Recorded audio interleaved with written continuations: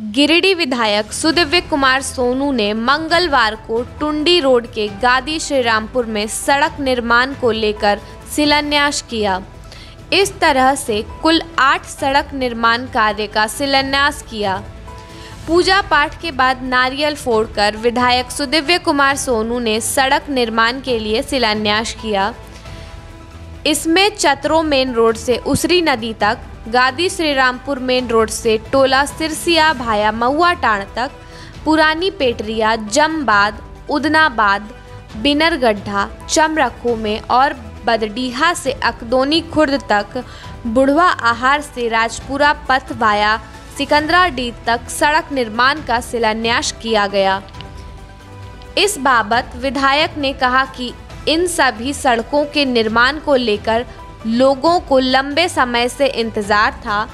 सभी उपेक्षित सड़क हैं। गुणवत्ता के साथ निर्माण कार्य का निर्देश दिया गया है। आरईओ के माध्यम से इसका निर्माण कराया जाएगा। इस दौरान गोपाल विश्वकर्मा, भारत यादव, पप्पू रजक, जिला परिषद सदस्य प्रतिनिधि अनवर अंसारी, मुखिया प्रतिनिधि मेहताब मिर्ज़ा मुखिया मुमताज़, मोहम्मद अनवर, दिलीप रजक, प्रधान मुर्मू, मनोज शर्मा, मुखिया सुनील सिंह, संवेदक विद्याभूषण मौजूद थे।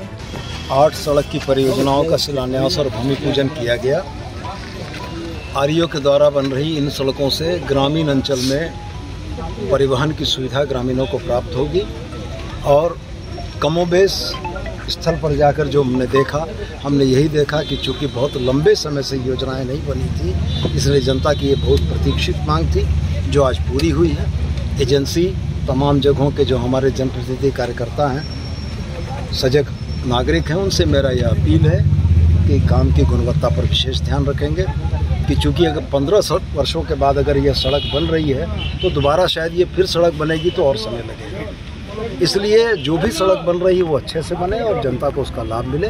यही मेरी आप लोगों से अपील है। तो श्रीरामपुर में कुछ ग्रामीणों का मुखिया का था कि रोड में सादे गिट्टी का उपयोग किया जा रहा है। वो आपके सामने ही हमने विभागीय पदाधिकारियों को कहा कि जहाँ तक सादा गिट्टी का उपयोग किया गया है उसको बाकायदा उखाड़ कर जेसीबी लगाकर उसको उखाड़ देंगे और नए सिरे से गुणवत्तापूर्ण ढलाई कराने का काम करेंगे। उदनाबाद में भी सर बहुत बहुत जगह रोड नहीं बना उसमें भी एक हुआ वहाँ।